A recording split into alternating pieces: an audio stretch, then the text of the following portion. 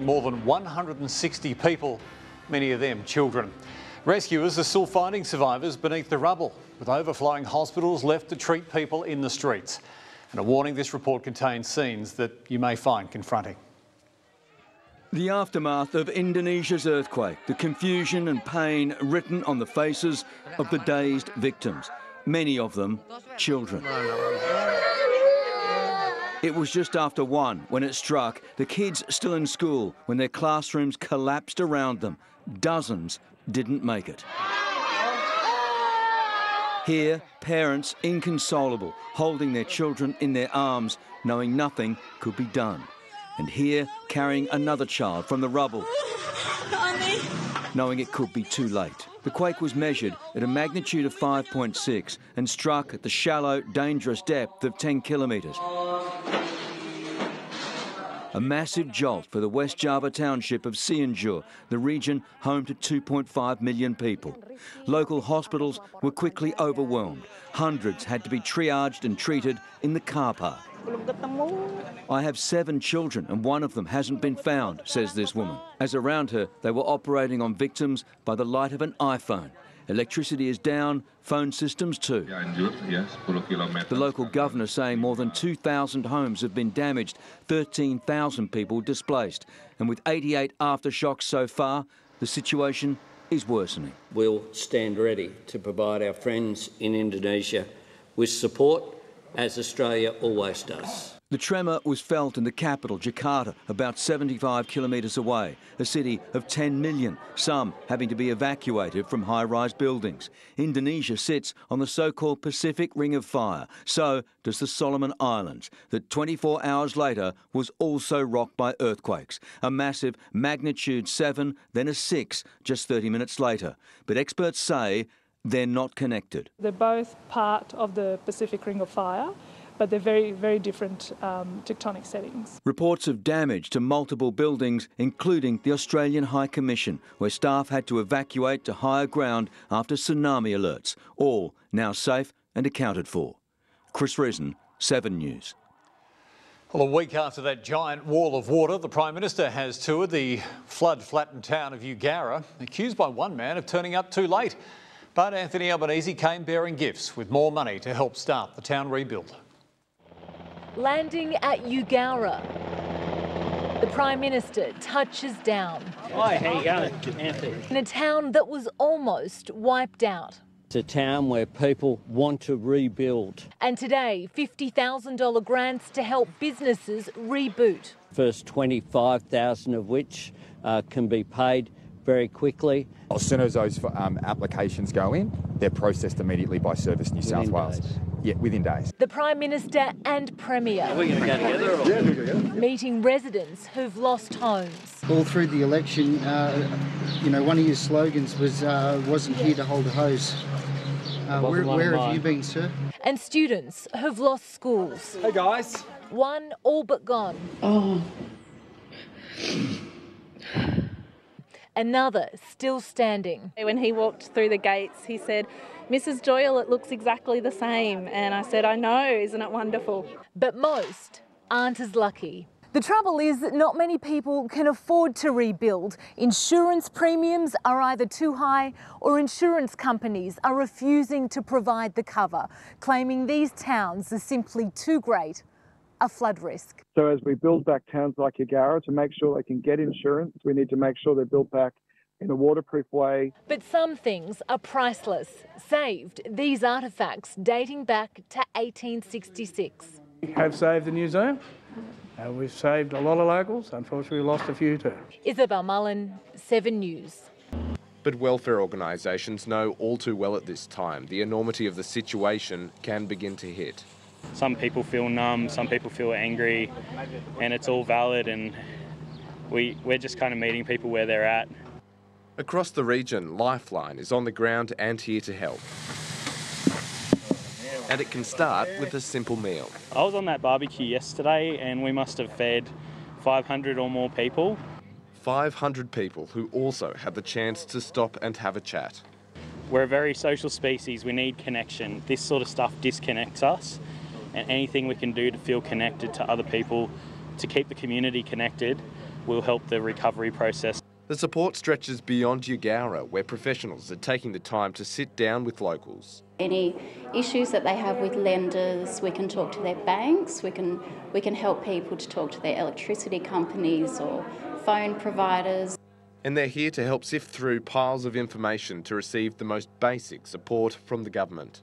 That process is, is daunting for anyone, let alone someone who's never, never been through the process. Wherever you turn, there are messages of hope and people to listen. Come down here and, you know, just enjoy and have a chat. There's so many stories to be told. Reminding us that no matter the challenge, hold on, pain ends. Ruben Spargo, 7 News. And if you or anyone you know needs support, you can call Lifeline on 13 11 14. Travelled hundreds of kilometres to receive the best possible care. Safe in the hands of her rescuer, Kevin was saved from floodwaters around Menindee by a National Parks ranger driving through. 100 metres or so, straight down there, past them telephone poles there.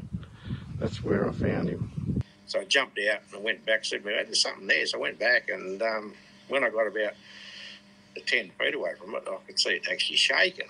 So that little thing's alive. And I thought, oh my God, it's, it's a bloody uh, little baby porcupine, you know. Just 55 days old, it was using its beak like a snorkel. He, he'd been swimming, but he'd made it to the edge of the bitumen, but he was buggered. Kevin was then driven 100 kilometres to Broken Hill before being flown to Dubbo's Taronga Western Plains Zoo. It was organised within half an hour, and I just had to go to the airport the next day with the little one packaged up in a gravy bucket and uh, got the approval for him to fly. Today, Kevin was fed out of the hands of staff at the Wildlife Hospital. The adorable puggle healthy, but still getting used to a new mum. She is taking a little while to get used to feeding this artificial diet, so we need to get her drinking well. But it appears that she hasn't developed any problems from being in the water. On average, the zoo's wildlife hospital receives six to 700 animals each year, and it's hoped Kevin will be one of those animals able to return home one day soon. Yeah, oh, he's won me heart as you can see, yeah. Hamish Southwell, 7 News. And in case you're wondering, vets originally named Kevin after the Puggle's rescuer. However, later on, an ultrasound was done and it was discovered that Kevin is a girl echidna. Stephen Murphy is along. Good evening. It's normally a gentle, caring profession, but the state's nurses are now as mad as hell. Today, staging their fourth and possibly biggest stop work rally. Many in surgical scrubs. They walked off the job and marched on state parliament again, demanding a fair pay increase and better staffing numbers.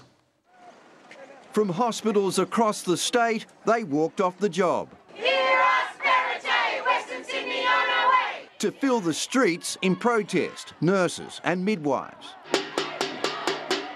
Demanding the government's attention. We're exhausted, extreme tired. I don't even know what a day off is anymore. Appealing for public support and getting some. I'm just waiting for a friend, uh, but good on them. Four times they've gone on strike this year, nurses, part of a troubled public sector workforce. There's no political strategy in this. This is unionists saying they've had enough and they want a better system. Better pay and improved staff to patient ratios, warning safety is at risk. This is a body bag. Let's make it real. Let's see it for what it is. But this is a campaign that today was showing its strain. How did this job I love so much hurt me? How can fighting for my patients be this difficult? Nurses striking in defiance of an order by the Industrial Relations Commission. Today's action risking tens of thousands of dollars in fines. Emergency workforce levels at hospitals described today as life-preserving. The government says it would pay nurses more if it could. As for set staffing ratios... If you didn't have the precise number of nurses in a ward, the ward may be closed. Indeed, a whole hospital could be closed. And that would have been a disaster during COVID. On the edge of what could be a fourth wave of the virus. This is the fight of our lives. We're standing up for our communities and we'll do it even when the politicians won't. Today's strike has prompted new union talks with the government tomorrow. Chris Marr, 7 News. Tossing the coin at the annual Prime Minister's 11 cricket match. Ready? Managing inflation is becoming just as unpredictable. That's ahead. The Reserve Bank governor warning increasing global supply shocks, the effects of climate change, and a shift to renewable energy means Australians could be in for a rocky ride. We'll see more variable inflation than we have seen over the past 30 years. It's already forecast to hit a 10 year high of 8% within weeks, with food prices staying high. We believe 6 to 7% next year. Interest rates expected to bounce around to deal with the cost of living fluctuations. We have not ruled out returning to 50 basis point increases if the situation requires that. The RBA boss warning workers not to expect higher wages. If we all buy into the idea that wages have to go up to compensate people for inflation, it will be painful. So best avoid that. There's nothing wrong with the Australian workforce believing that they should have a better chance of keeping up with what's happening in expenses in this country. It's really a very difficult balancing act here, and that, of course, is one of the reasons, unfortunately, why the Reserve Bank still has to continue with raising interest rates to try and slow things down. A balancing act, economists say, risks being thrown out of kilter by the Albanese government's industrial relations shake-up. Reforms it's fighting to get through the parliament by next Friday. Well, you don't get wages moving by putting the brakes on small business. You can't get blood out of a stone. Look, real people are hurting without some wages movement. The trick is how far and how fast. Rob Scott, 7 News. Well, pensioners will be able to earn extra cash without losing their benefits. The new laws have now passed Parliament, raising the cut-off by $4,000. That brings it now to 11,800. Well, Parliament also scrapped the need for pensioners to reapply for their payment if they exceed the income limit. It's all in a bid to tackle the workforce crisis gripping Australian businesses while giving those who want to work some more the freedom to do just that. It'll be a welcome boost to the some 50,000 pensioners just in time for Christmas, and the changes come into effect December 1. And Labor's $5.4 billion cheaper childcare package has passed in federal parliament. From July next year, the subsidy will lift from 85% to 90%. That's for families with a combined income of less than 80,000. Our future youngest Australians will benefit, families will benefit, and our economy will benefit as well. The plan is to set, uh, certainly set to help more than 1 million families. After a terrible year of floods and rain, the nation's latest climate outlook warns there's not just more to come, but worse to come. Scientists and meteorologists are telling us now to prepare for the next weather cycle that's set to see a return of droughts and fires. Cobargo publican David Allen hasn't had to go far to witness Australia's climate extremes. From his front steps, he's seen bushfires threaten his town, then floods, and just this week, wild winds. It's endless. We had the drought, we had the bushfires, we had the floods. And the biennial State of the Climate report says there's even worse to come. Every time we do a two yearly update, we have a new series of extreme events to report on. The report from the CSIRO and Weather Bureau finds that since records began over a century ago, Australia's climate has warmed an average 1.5 degrees and sea surface temperatures by 1 degree, blaming global emissions raging back to record levels post pandemic. Atmospheric CO2 concentrations are now higher than any other time in the past 2 million years. The report predicts more heat extremes, longer fire seasons, more droughts, sea level increases, with more coral bleaching, less snow, and fewer cyclones, but of greater intensity. Regretfully, there are no good news in this report. As an inland wall of water moves through Condobolin today, the report also finds, despite this year's relentless floods, rainfall is actually down 10% for autumn and winter. It's a complicated story for rainfall. Fewer rain events, but far more intense. The report confirms Australia's disturbing temperature increases, noting that in 2019 the mercury soared past 39 degrees on 33 separate days. That's more than the previous 60 years combined. A forecast of foreboding. It's not a good way to live, and it's um, a really, really serious thing. Chris Reason, 7 News. When the invitation was first sent to South Africa's president, the Queen was sovereign and still front of mind today the pageantry customary. But the occasion historic. South African President Cyril Ramaphosa treated to a state banquet inside Buckingham Palace, the same as leaders before him, except for one big difference. This, the King's first opportunity to perform as head of state on the world stage. South Africa, like the Commonwealth, has always been a part of my life. Earlier, he and Queen Consort Camilla welcomed the president, inspecting the Guard of Honour before a carriage procession up the Mall. The Prince and Princess of Wales travelling in the Australian state coach. A state visit is the ultimate diplomatic gift. Who is invited is decided by the British government, but the King is host, a chance for him to exercise the same sort of soft power his mother was an expert in. At an exhibition celebrating the relationship between the two countries, the speech a then Princess Elizabeth delivered in Cape Town in 1947. That my whole life, whether it be long or short, shall be devoted to your service. And it was. The last state visit here was when the Queen hosted Donald Trump. Today's affair, a visual reminder of how times have changed. In London, Sarah Greenhalgh, 7 News. And among those captivated and concerned by the recent flood devastation across the state is King Charles. In a message to the New South Wales Governor, Margaret Beazley, the monarch shared his sadness and support, saying that both he and the Queen's consort had been following the news and were shocked by what they saw. They passed on their thanks to those who have come to the rescue. And the King signing off, our hearts go out to you. Roads that need fixing. Um, the Clergate Road um, is on that list. I, I think that's a very important road. But it's hard to call for more money when there are others doing it much more tough. Our roads uh, don't measure up to the damage that has been happening out west to our, uh, our neighbours. Cabonne Shire is one of the worst areas hit, making it hard to start with just one priority road. It's important that we we uh, link these main roads uh, that link our villages together and and the main roads that access uh, out to our shire and leave our shire. These roads have suffered more than just potholes. A lot of our unsealed roads are, are not passable. a lot of them remain still closed. We're told the extra road crews coming in from outside the region will go where we need to open the roads up now. Ruben Spargo, 7 News. One of those roads deemed a priority by Dubbo MP Dougal Saunders is the Mitchell Highway towards Narromine. Work is now underway on a new overtaking lane near the Winsley Lane intersection. It's a stretch used by thousands of residents, tourists and freight operators every day. It's taken some time to upgrade the major highway after it was made an election promise in 2019. There's a genuine focus on making sure that we upgrade the roads that need upgrading quickly as an emergency response.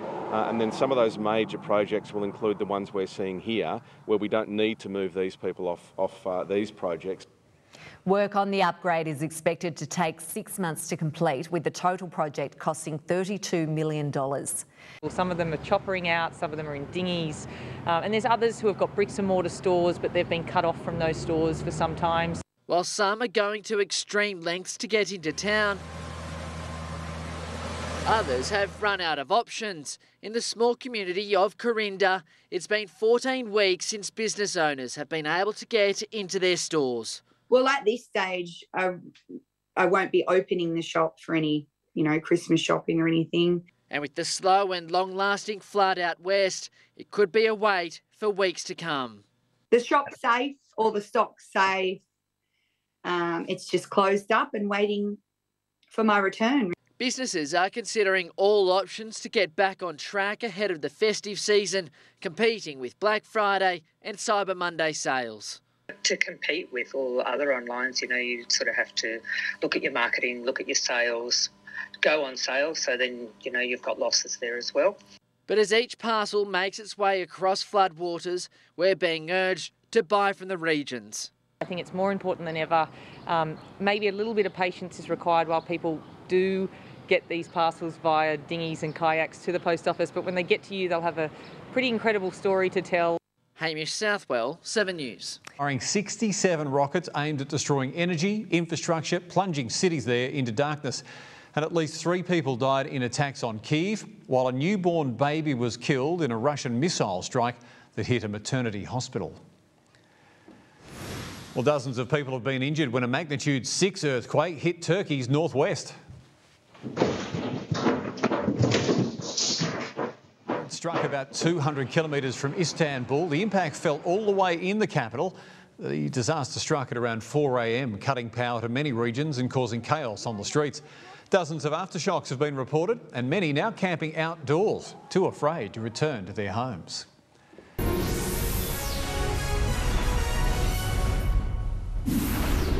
Hello, I'm Tracy Grimshaw. Welcome to A Current Affair.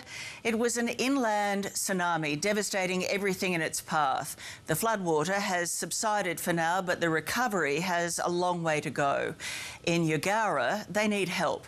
Local hairdresser Amanda Mongan and local cafe owner Judd McKenna join me now. Good, good evening to both of you. Judd, how are you doing now? Hi, Tracy.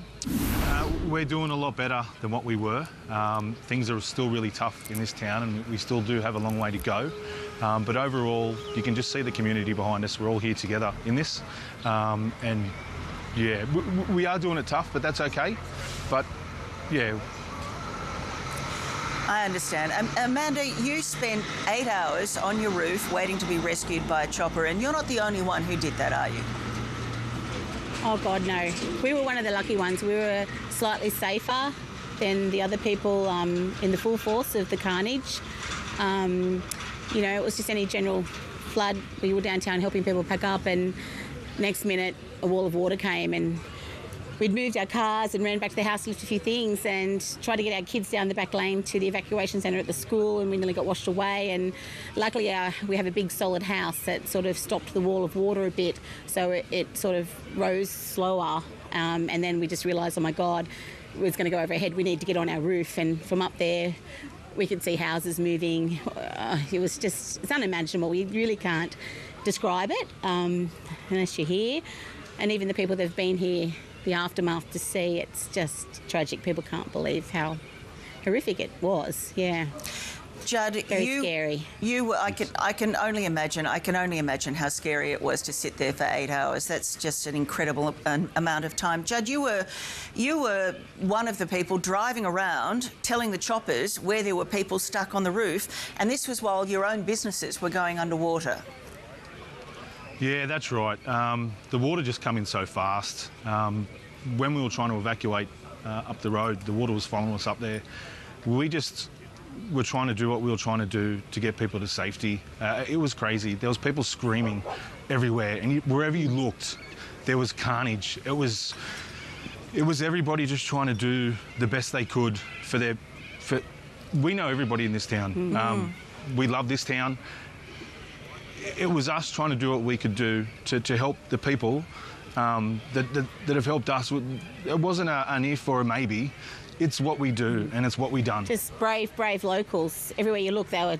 One bloke dived off our roof to go and to go and help the neighbour. He could hear someone yelling out.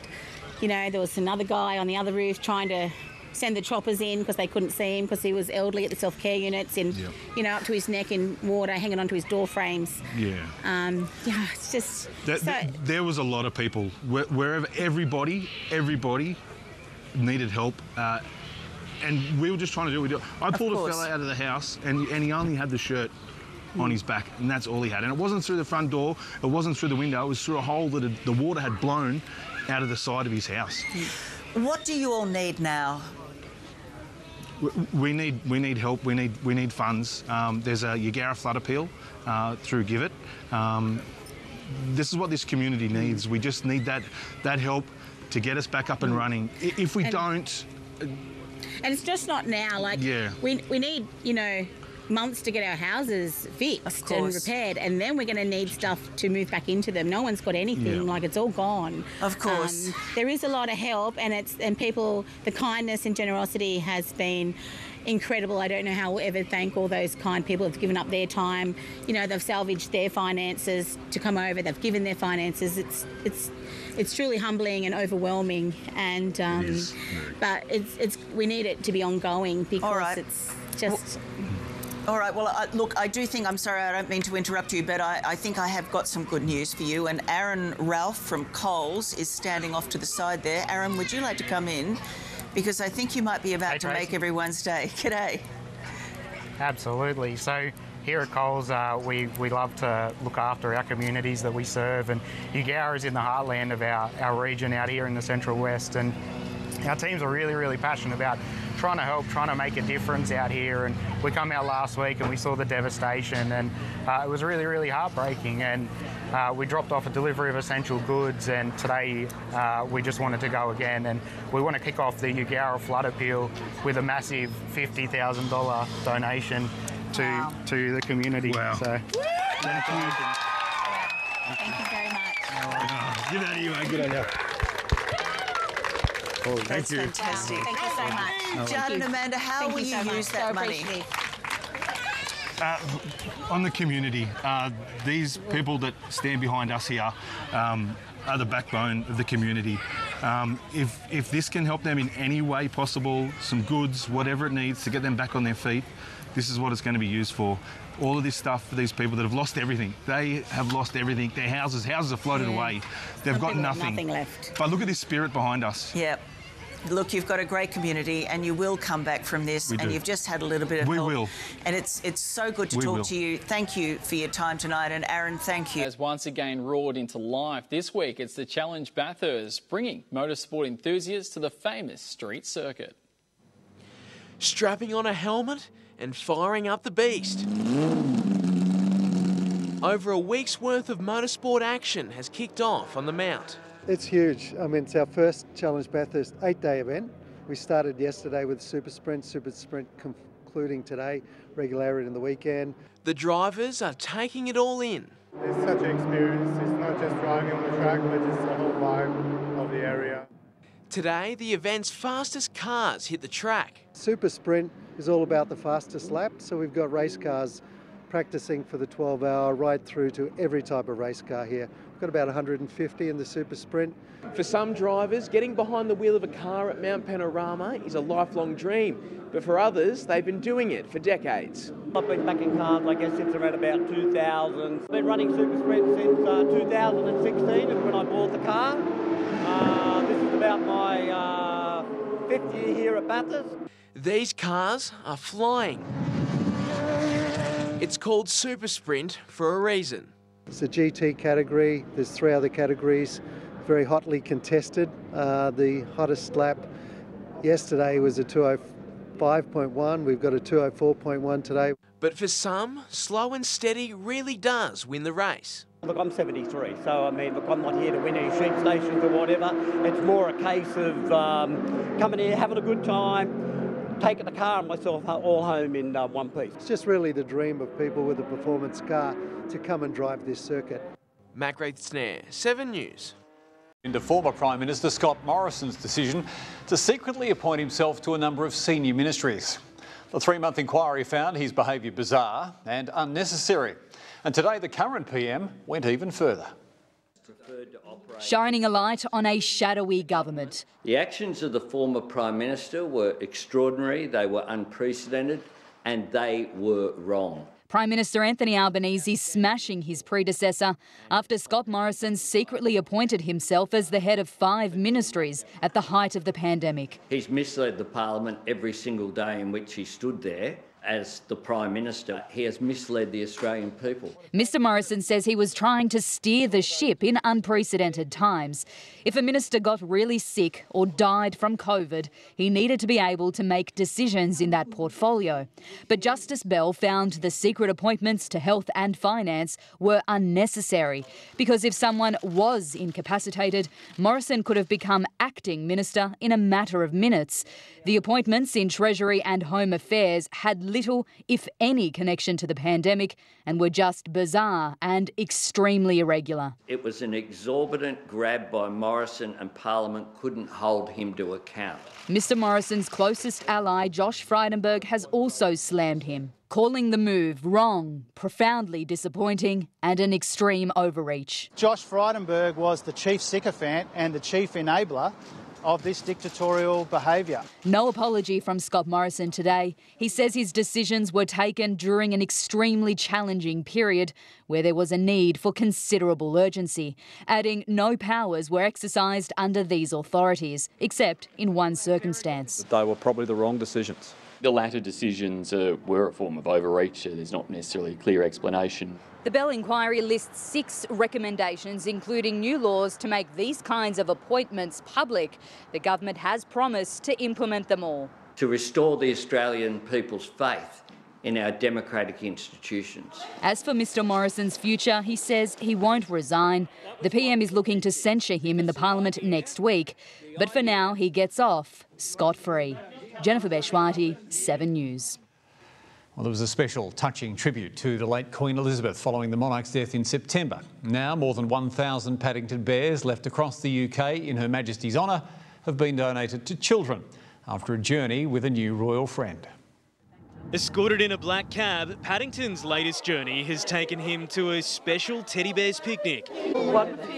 Delivered by the Queen Consort. Thousands of Paddington bears were left at royal palaces in the days after Her Majesty's death. Tea? Oh, yes, please. Tributes to the Queen and her Jubilee guest in a skit that revealed Elizabeth's comic timing. I keep mine in here.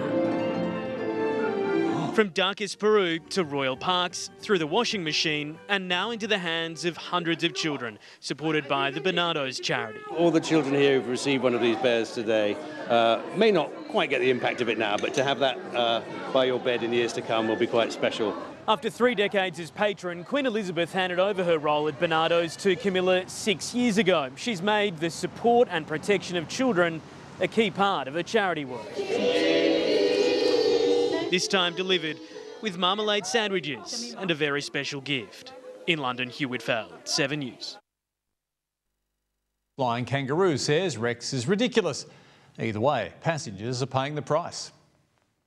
Rex Airlines flying high, profitable for the first time since the pandemic began, but now for a skirmish in the skies. They're charging more than twice the price for the same service.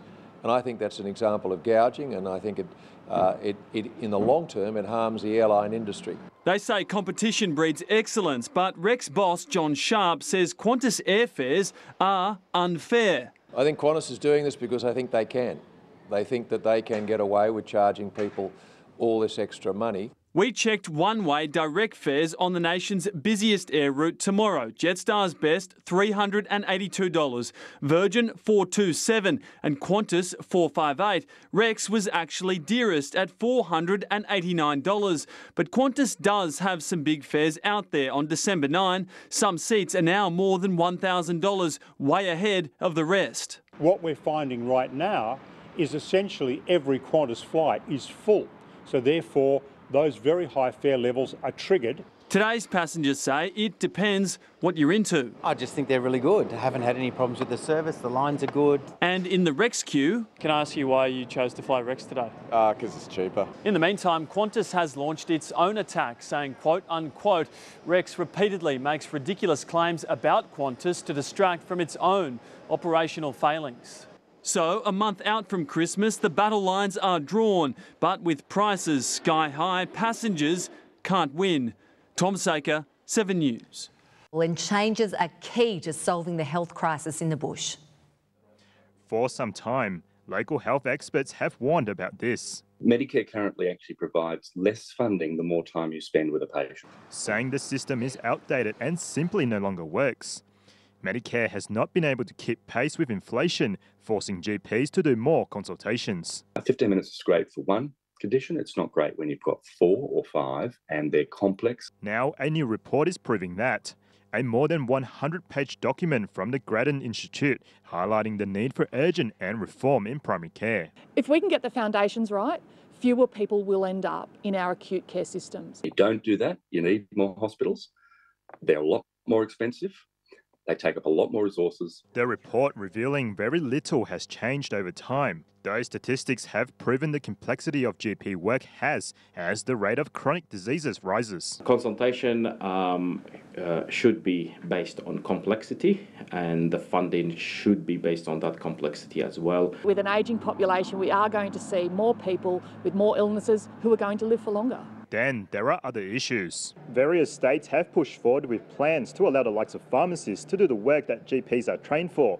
Whilst it may be a short term fix to the workforce crisis, it doesn't provide the best quality of care. There are concerns this will lead to greater fragmentation of healthcare and the potential for medical errors. It is really important that people have a GP, someone that they can trust, that they can go to, and that they know will listen to them and will work with them with their health conditions over their lifespan. Christopher Tan, 7 News. The fight is on to get Eugowra residents the long term financial support they need.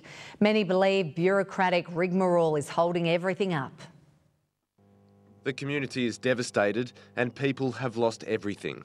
The town community itself is trying to stick together and be positive, but there's a lot of um, uh, uncertainty. Financial stress is front of mind for almost everyone.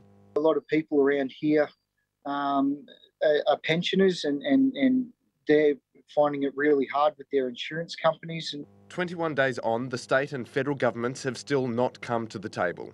Uh, look, they've had um, funding of $1,000, which doesn't get you much, uh, obviously, when you've had everything destroyed. Locals want to see everyone in town offered some hope to rebuild their lives. the back to home grants um, would help in a long way for a more permanent solution, um, which is what's really needed. Those grants, the same ones used in Lismore, give individuals up to $20,000 to replace essential household items or their homes. The process needs to be sped up. Um, obviously, they're waiting on some more data uh, to come forward, but I think we really should push that process and, and get it started. 7 News understands the state government is still waiting on the final data from rapid damage assessments to take the case to the federal government. Well, the rapid damage assessments don't seem very rapid to me, but I can give you one right now. Eugowra is a disaster zone. A state government spokesperson today told us the government will continue working with the Commonwealth to unlock additional financial assistance for the flood affected communities. Stop writing reports and passing them around and get some money out the door to help our residents. Especially leading up to Christmas, it would be yeah, it'd be amazing for the kids and for the people just to even start cleaning up themselves. Ruben Spargo, 7 News. It isn't all bad news in Eugowra, though. One thoughtful 14 year old has dropped into town with a special Christmas surprise. Jack Berne from a Fiver for a Farmer has been busy raising money for flood victims. He has topped $25,000 for the people of Eugowra to make Christmas a little bit easier. The money has helped load up the Christmas trolley with presents. He has purchased gift cards from Orange's Toy World. Money is also set to go towards Eugowra's community centre. Buying local could be make or break for our communities this Christmas. Shopping at small businesses is vital to keeping doors open during the flood recovery. December is supposed to be a joyous time for many. But for our business communities impacted by recent floods, they are still trying to get back on their feet. We'll do the Christmassy thing, we'll do as much as we can, but uh, it's going to take a long time to catch up. One Carinda business has gone to extreme heights to keep trading. Some not so lucky. A Forbes cafe shut until next year after three major floods in just four weeks. There is a long, long way to go, um, and we need assistance with all the state and federal government departments. Today, the rebuilding effort is well underway. But it's more than the tools that will be needed. Businesses pleading with locals to shop in town this holiday season. Molong already receiving a boost. They tell me about 5,000 people attended the markets here on Friday night. Uh, some 320 kids on, on the uh, Bucking Bull. Doubling the town's population, every dollar spent going a long way. They came from everywhere. We were, they, and all of them wanted to know how we were affected, what they could do to help. Round and round, people filled up Bank Street. As this Friday, it's Forbes' turn, with every small town in between needing the support. Though we are reminded that generosity can come in many different ways. There was a bloke came in last week who wanted to buy a sheet of plywood. He offered to pay me twice the amount because we were doing it tough. That's how generous they are. Just keep coming back and supporting us. Businesses hoping it continues well beyond Christmas. Christopher Tan, 7 News. Summer is upon us and we're being urged to protect ourselves from the biting sun. Newly released melanoma data shows Bathurst has one of the state's highest rates of skin cancer. Today, looking as fit as a fiddle, but four years ago, Stephen Bassett was diagnosed with a life threatening disease that started as a small spot.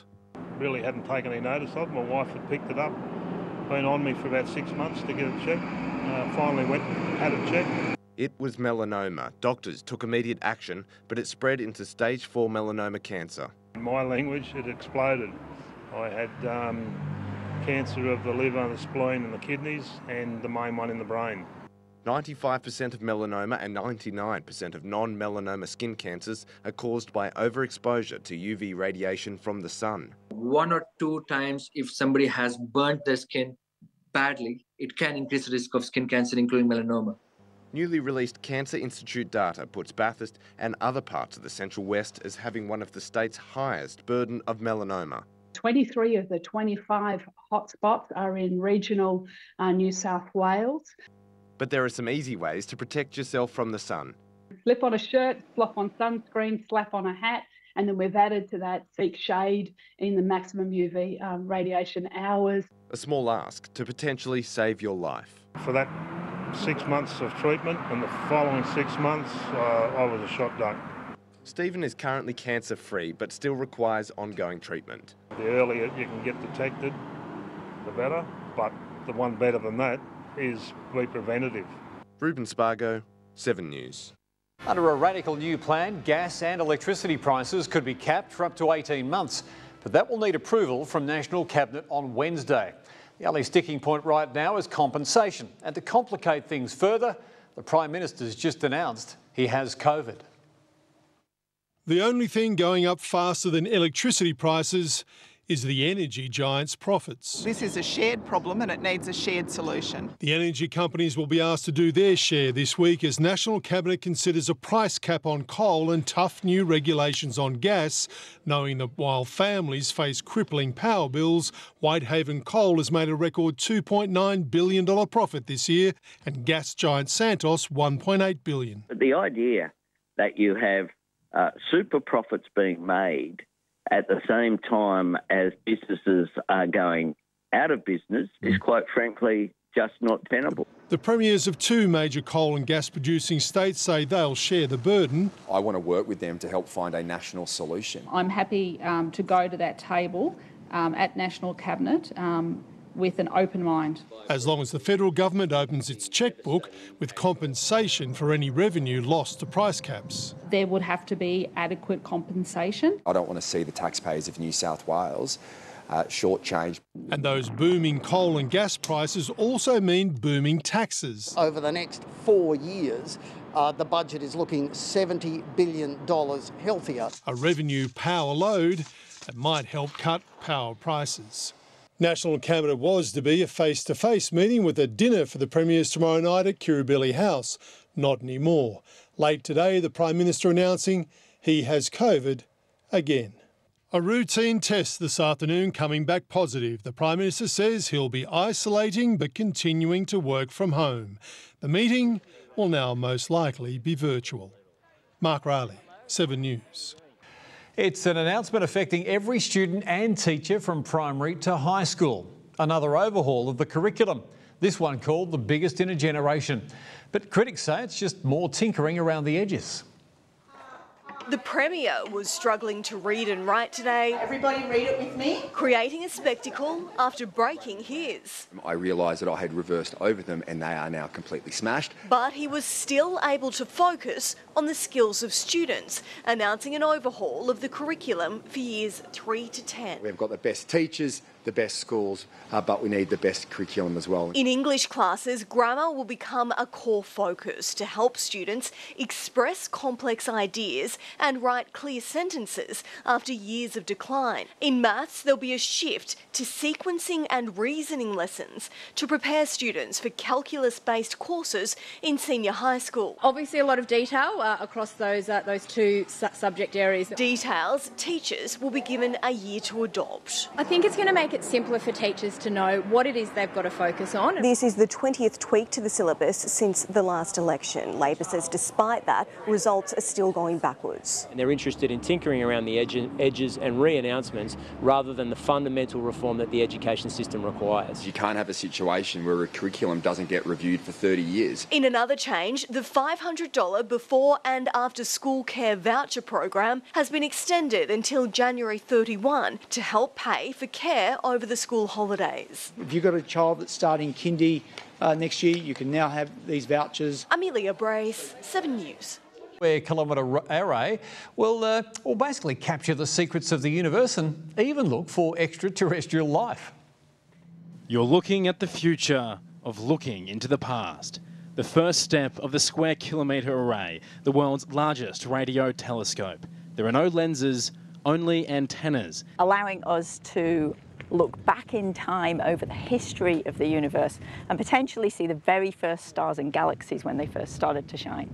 The array will be a spiral with three giant arms, measuring 74 kilometres between each of the furthest points, made up of 512 clusters of 256 antennas, a staggering 131,072 receivers, to look back a billion years into the celestial unknown. The bigger the collecting area, the smaller the object you can see. And so again, having the radio telescope cover an area about 74 kilometres across means we can see really small detail on the sky. Construction in the Murchison Shire begins today, one of the few places in the world that has the space and, crucially, is so remote. People bring with them phones and cars and microwaves and fridges, all of which make noise electronically, which mean that we can't detect the very faint signals from the dawn of the universe. It'll take eight years to transform this barren outback into the world's largest telescope, where antennas like this will stretch beyond the horizon, unlocking secrets beyond our imagination to even uncover extraterrestrial intelligence. If there were, say, an airport radar on a planet circling a star tens of light years away, we would be able to detect that. Looking back from the outback in Murchison, Ben Downey, 7 News. Conservative politicians in the United States are scrambling to distance themselves from Donald Trump's latest suggestion that the US Constitution might need to be torn up. The former president argues it might be necessary in order to reverse his election loss two years ago. The previous president, determined to be the next president, has lost none of his knack for shock by social media. Musing on his Truth Social site about his election loss two years ago, he argues overturning the 2020 result warrants the termination of all rules, regulations, and articles, even those found in the Constitution. Donald Trump is out of control and a danger to our democracy. The US Constitution, 233 years old, bedrock to the oldest of the world's surviving democracies. Jaw dropping for any American politician to suggest terminating it, let alone the only Republican so far to declare he's running for president. In fact, if he wins, he takes an oath to Preserve, protect, and defend the Constitution of the United States. The Constitution of the United States. For Republican politicians not yet willing to condemn Donald Trump, his comment has backed them deep into a corner. You can't come out against someone who's for suspending the Constitution? Well, first off, he has no ability to suspend the Constitution. Secondly, But he I says he's for it. Well, you know, he says a lot of things. And he has time to say many more, with two years to run before Americans vote for their next president. In the United States, Tim Lester, 7 News. They don't come much tougher than Manly's aerial skiing star Danielle Scott, who started the aerial skiing World Cup season with a gold medal in Finland. Scott's bouncing back from a Beijing Olympics campaign that ended in tears. And in the French Alps, the Jindabyne 19-year-old Josie Baff overcame difficult conditions to win snowboard cross gold. And it was Josie's first major final. I was in the lead coming into the finish. I was thinking, surely this isn't happening. But it's just, it's really cool. It's a really special moment for me. Absolutely, well done. Uh, and that is after Beijing gold medalist Jakara Anthony won her first moguls event of the season. I just can't look at those knees. Good evening. Parts of an orange school have burnt to the ground despite a mammoth effort from firefighters. A blaze erupted late last night and it took crews six hours to put it out. The damage so severe it stopped local students from attending classes today. We go now to reporter Ruben Spargo, who is at Glenroy Heights Public School tonight. And Ruben, those were frightening scenes we just witnessed. Maddie, this was an emergency which completely shut off this street last night. Where I'm standing right now, there was a hive of activity as authorities tried their best to save what they could. Uh, tonight, uh, th- this scene looks completely different to how students left it. A ferocious blaze lighting up the night sky, neighbours sounding the alarm. Emergency services arrived at Glenroy Heights Public around 10pm last night with red and blue lights filling the street. Fireys forced entry running towards the danger. The fire taking hold of the main building, the golden glow attracting a crowd of onlookers. We came out the front and the, it was just uh, amazing. Flames everywhere. They watched on helpless as the school came crashing down. We're right across the road from the school, so yeah, it's pretty scary. And getting this inferno under control was no easy task. It took till early hours of this morning before they could actually make sure the fire was fully extinguished. I believe they didn't leave till about 4am this morning. And the damage soon became clear, the fire leaving a gaping hole in the heart of the school. I was uh, ex-pupil of this school when I was it, I was really devastated. It looks like the fire's been contained pretty much to the administration block with lots of damage upstairs in the library. Students came to school this morning before being turned around and sent home. Only investigators were allowed past the blue tape, tasked with sifting through the evidence. We are treating it as suspicious until we're proven otherwise. An investigation has been launched. If anyone has any information, they can come forward by contacting Orange Police Station or by contacting Crime Stoppers as the school community begins to mop up with only two weeks left on the school year. Yeah, terrible way to end the school year. Ruben, do we know when kids can get back into their classrooms yet? Maddie, this is usually a time for students where they begin fun activities as they wrap up their final term, term rather. However, Glenroy Heights families have been told this afternoon that the school will be closed again tomorrow. Learning will happen from home while the site is assessed and safety can be ensured. Earlier this morning, I saw one little girl being comforted by a staff member of the school. I heard them talking about replacing books from the library. We're also aware the school is weighing up their options to provide temporary solutions, solutions rather, such as installing demountables. The school has thanked the community for their ongoing support and understanding. Thanks for the update, Ruben. Ruben Spargo reporting there for us tonight in Orange.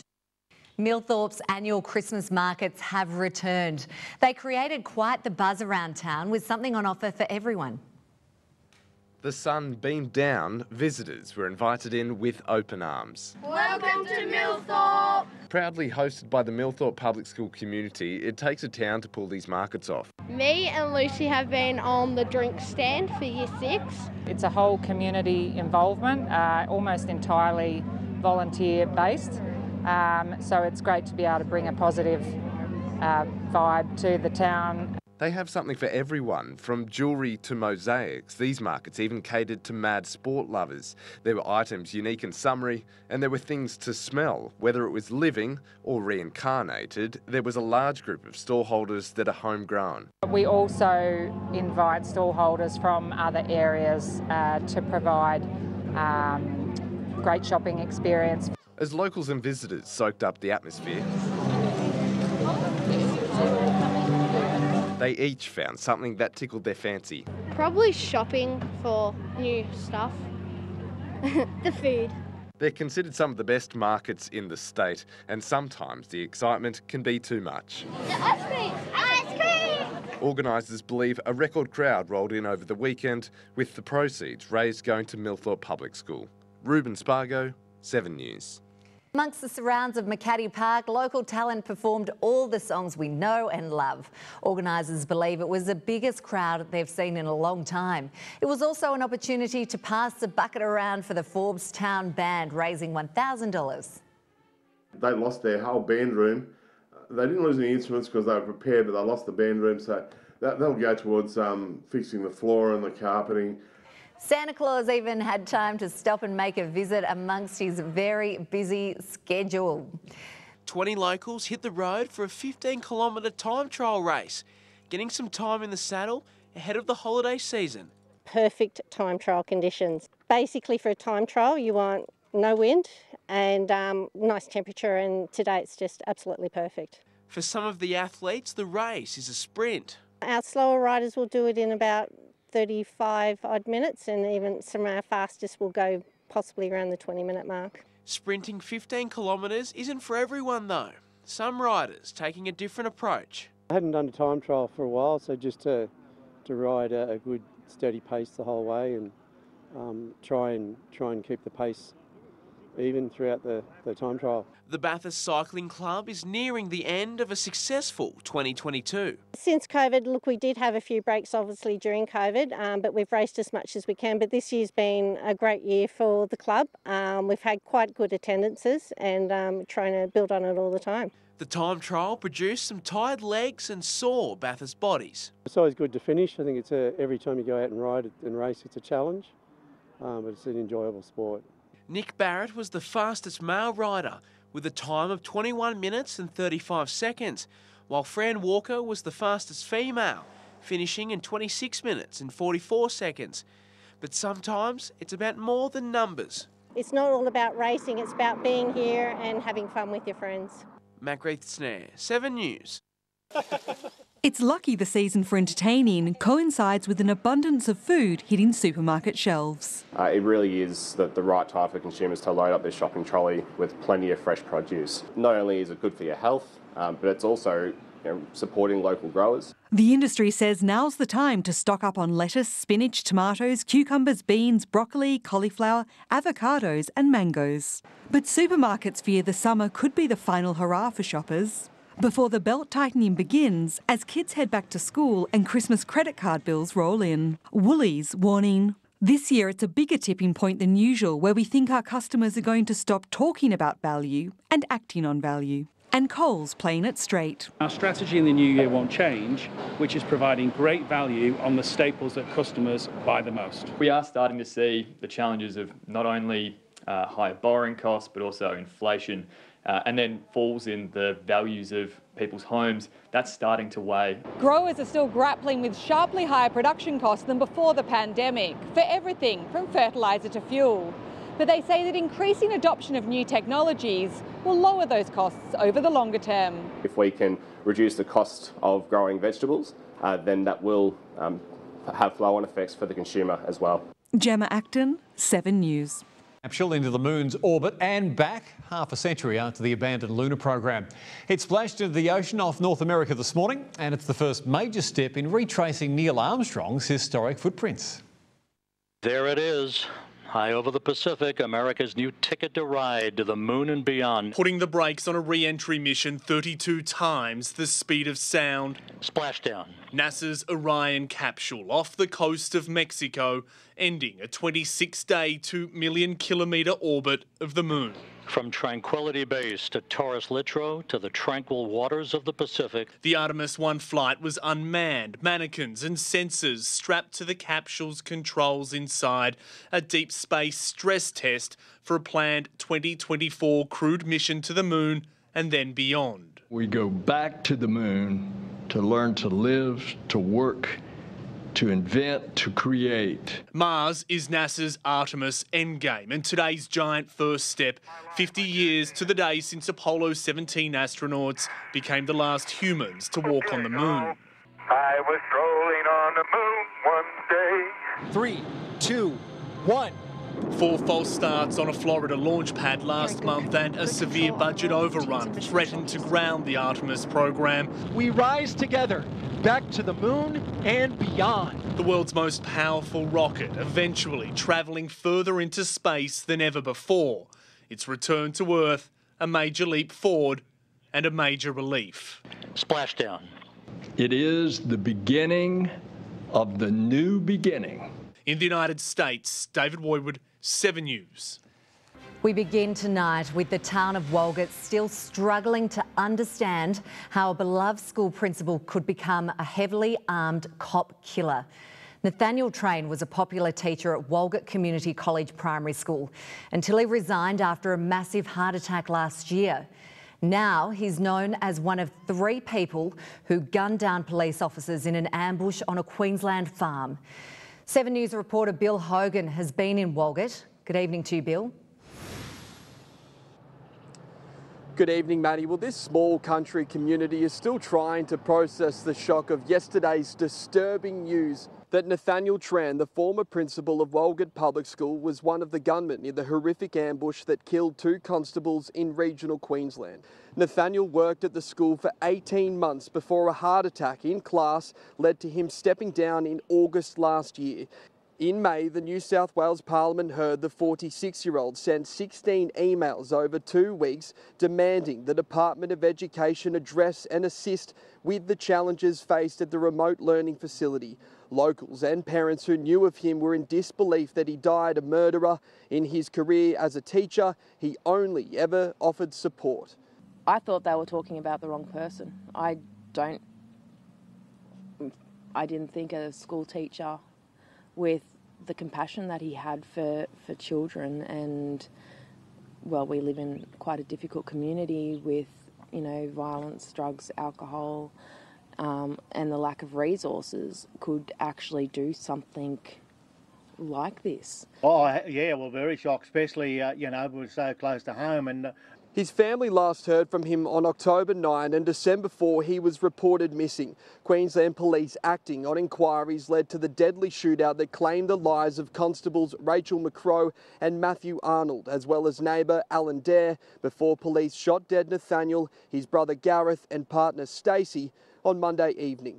Counselling is still being offered to parents and students at the school exactly as to the motive of this deadly shooting, maybe months or years until we know for sure. But one thing is for sure is that people in this community are trying to work out how a warmly regarded principal died a cold blooded killer. Buses will replace trains between Lawson and Linden for days to come after a derailment earlier today. Ruben Spargo is on Orange for us tonight. And Ruben, what happened on the Blue Mountains line? Matty, the train left the tracks just before 5am and caused significant damage to track infrastructure between Lawson and Linden, which will take some time to repair. As a result, 20 buses have been sourced to replace trains between Lithgow and Springwood. There are also three trains operating a shuttle service between Katoomba and Lithgow. We know that Transport for New South Wales are assessing that damage and actually looking at what needs to happen as part of the clean-up and to be able to get that track operational again. The train has been righted, but transport bosses can't say when the line will be open again. Travellers using the Blue Mountains line should expect delays or extended travel times. Thanks for the update, Ruben. Ruben Spargo reporting there for us tonight. From Sydney into the central west if visitors don't take precautions. The stunning Mudgee region is home to some of the oldest and finest wines in the world, but a tiny insect is threatening the future of them and other vineyards across the state. If phylloxera was to occur in any of those regions, it would be extremely devastating. Phylloxera are these small aphid-like insects regarded as the world's worst grapevine pest. Feeding on their roots, it could take up to six years for vines to die after being infested the costs incurred to be able to, to have to replace most of our vineyard um, would be nearly unbearable. Easily moved, the insect can be transported by clothing, footwear, or machinery. It's prompted the rollout of 65 new visitor warning signs across wine growing country after detections were made in southwest Sydney and Albury. Ensuring that we minimise the chance of spread of phylloxera out of areas that it already has a foothold. We do need to make sure they're thinking about what they're doing uh, and also for, for, for travelling in other regions. Some of these vines are nearly 50 years old and if Phil phylloxera spreads, vineyards are faced with a daunting task to restart the plantation. It really is between four and seven years until we get uh, actual fruit from, the, from those new vines. While phylloxera doesn't impact wine quality, the devastating insect is another biosecurity front officers are dealing with. Hamish Southwell, 7 News. The future of a high rise private hospital will be debated at the Bathurst Regional Council tonight. The five story centre is sharply dividing the city, with advocates saying it will change the CBD for the better. A vision to change the skyline of our city and the streets below. It will reinvigorate and revitalise the CBD, which in our view is flagging. Uh, this is a great opportunity to bring the CBD of Bathurst back to life. A six level, one stop, private integrated medical centre, something Bathurst currently doesn't enjoy. Look at all the people travelling to Orange every day for health reasons. It's just incredible. But the proposed location on Howick Street is being scrutinised by Council tonight. Developers are seeking an exemption to the city's height restrictions. I would view that as being a green light for any other developer to start building high rise towers throughout the CBD. There are concerns the building could also affect Bathurst's heritage. You've changed it into an outer, far outer western suburb of Sydney. Mate, those particular people are so far backward that I think they want to see horse troughs back outside the Westpac Bank. You know, we have to move on. Advocates at the proposed location say its presence would provide much needed foot traffic that would be supported by an adjoining five level car park. It won't just help the club, it'll help every business that's located in the Bathurst CBD. Others say patients would benefit being closer to the existing public hospital. If you co-locate these medical facilities next to each other, all you do is just transfer them either across a gantry or across the road. If Bathurst councillors grant the height exemption, the project will then go through to the development application stage. Ruben Spargo, 7 News.